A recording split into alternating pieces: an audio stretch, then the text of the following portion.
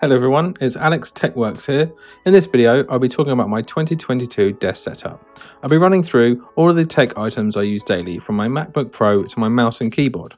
I'll also talk about my cable management, desk lighting and desk planting to create a productive, tidy and inspiring home office.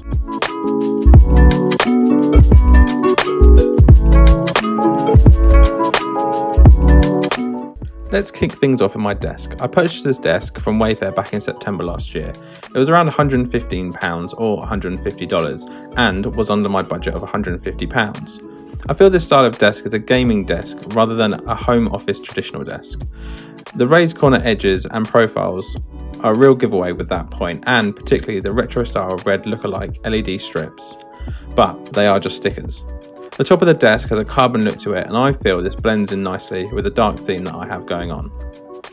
The assembly of this desk was pretty straightforward, all the Allen keys and bolts were provided and it took about an hour. I would say though the coffee holder isn't very secure so I've removed that. All in all it's a good desk but in future I would like to upgrade to a sitting and standing automated desk.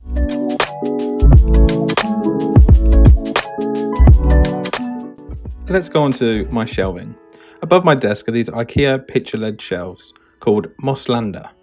I have the 115cm across the behind my monitor and the 55cm to the right of my desk above my PS5, again in black to tie in with the dark colour theme I've got going on. On those shelves, I keep some random personal possessions, which include my obsession with Starbucks coffee mugs, a cool Allen set, and this weird black candle. These shelves are also used to store my PS5 and PS4 controllers. You'll also notice I have this draping artificial plant and an artificial grass plant too. These are both again from IKEA and are both called Fejka. I think that's what it's pronounced anyway.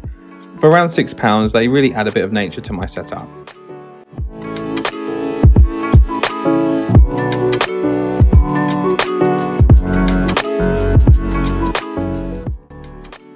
Let's talk about the monitor I'm using. The monitor I'm using for both gaming and work is a Lenovo L28U-30. It's a 28-inch 4K Ultra HD monitor that runs at a 60Hz frequency. Now, you may be wondering why I didn't opt for an ultra-wide curved monitor like so many have. This is mainly due to the space constraints on my desk and I didn't want a curved monitor to completely take up all my desk space. I feel this monitor serves my purpose for both gaming and working, and I can easily view all my apps when I ping them to the side for editing videos. It's perfectly wide enough for me. This monitor was priced at around £219 or around $300 when I purchased it, but now it's priced at £279 or $380, but the price does fluctuate quite a bit on Amazon.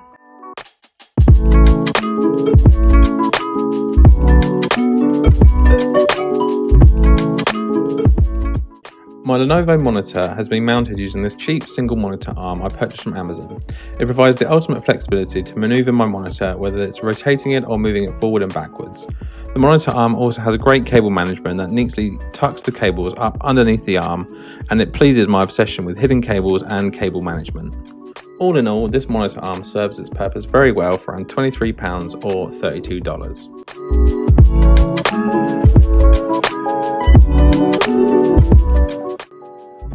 Neatly tucked and hidden under my IKEA shelf is where all my sound and audio comes from.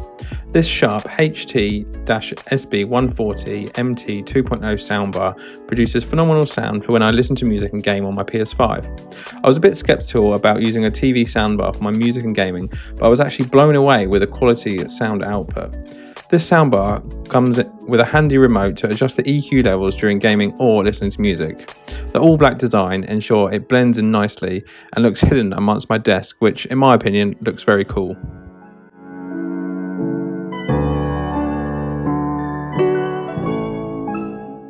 Let's move on to my on-desk items. My on-desk and everyday use tech consists of this Apple Magic Keyboard paired with a Logitech MX Master 2S. I've been using my MX Master 2S for around three years now, both at my desk and in the office. I have to say, the MX Master 2S has been one of the most useful desk items that I have. The infinite scroll allows me to bla- blast down PDFs and zoom in and out quickly when editing photos. The slim profile of the Apple Magic Keyboard and optimal angle makes this keyboard very nice to type with. Both the Apple Magic Keyboard and Logitech MX Master 2S are wireless and can be charged via a lightning port on the keyboard and micro USB on the mouse. I am however looking to upgrade to the MX Master 3 in the near future.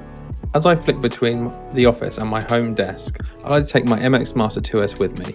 The button underneath allows me to quickly flick between my Windows PC at the office and my MacBook at home. I really think this is a cool feature that can't be overlooked.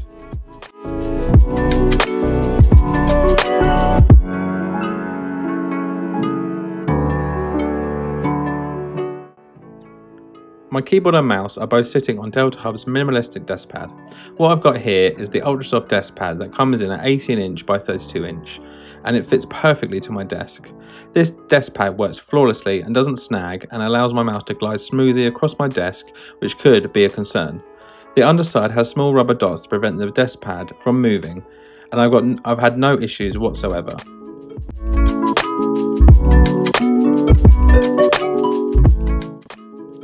I'm also using Delta Hub's Carpio 2.0 ergonomic wrist rest to provide support for my wrist during long stints of editing pictures and videos. I've got it in a size L and it fits the palm of my hand perfectly. The underside glides amazingly well across my desk mat and I even forget it's there sometimes. Both the Delta Hub desk mat and the Carpio 2.0 are available in different sizes and colours. Just have a look on their website for these options.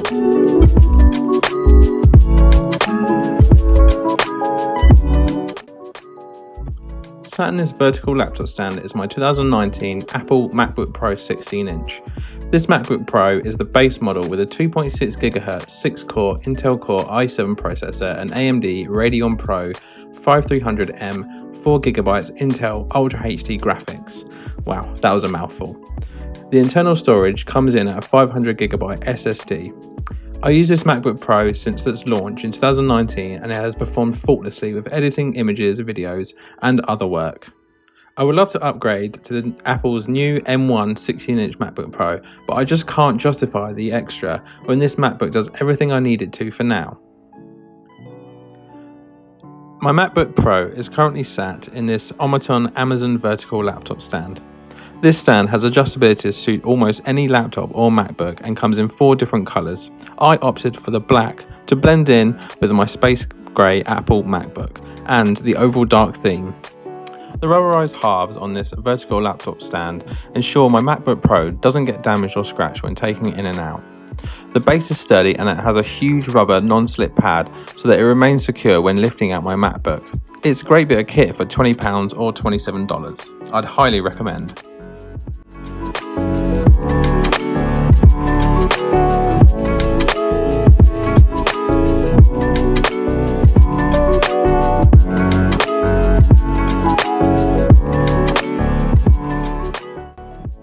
Let's talk about lighting. I'm a huge fan of RGB lighting and when I saw these Govee light strips I just had to get them. As my main desk light I'm using the Govee Glide wall light which I've configured in an L shape up the wall. I've tried these lights in various positions and I've now found the perfect location for them. The light strips consist of six sections and one corner piece. It would have been nice if they provided another corner piece in the kit for maximum adjustability and positioning, but for now I found the perfect spot for them. These LED light strips are mains powered and the cable length is long enough to ensure that they can be tucked away. My secondary ambient lighting also comes from Govee. These LED light strips are highlighting my personal possessions on the IKEA shelf that I mentioned previously. All Govee lighting can be controlled via the app, which is easy to use and it even set up timings so that they come on and turn off at correct times. Being a huge fan of the MCU and particularly Iron Man, I purchased this Marvel themed wall art from Displate. These all metal printed posters are perfect and really suit my home office and dark theme. I was a bit skeptical at first, they were printed on metal, but once they came through the post, I was blown away. The quality is second to none, and they are dead easy to fit. I opted these in a size M in a matte finish. I think the matte finish really blends in with my wall paint.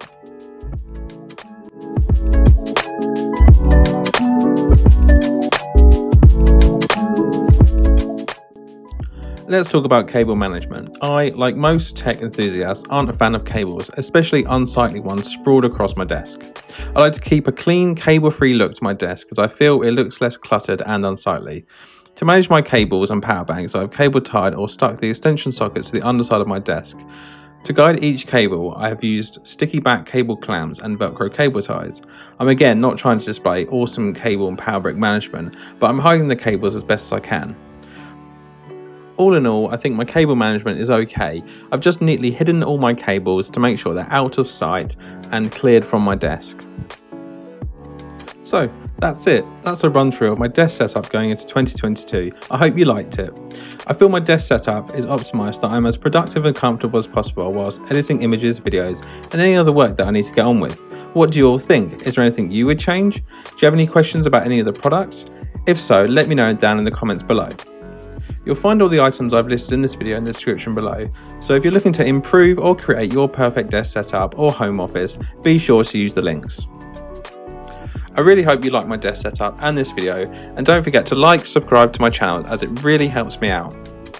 Please make sure you turn notifications on so you don't miss my next upload. You can also catch me on Instagram at AlexTechWorks. Thanks for watching and I'll see you next time.